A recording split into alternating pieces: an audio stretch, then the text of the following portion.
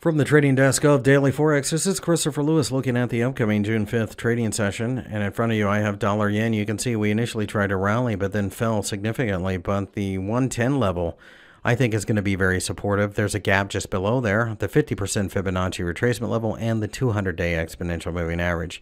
Even if we did somehow fall through all that, the 61.8% Fibonacci retracement level at 108 could be supportive as well. I suspect we'll probably get more consolidation. The Aussie rallied during the day, uh, wiping out all of the losses from the previous session and even testing the highs. I see a lot of noise right here at 0.75, so I'm a little bit skeptical of this move until we close above the 0.7525 level on a daily chart to go long. An exhaustive candle, on the other hand, I would be much more comfortable selling.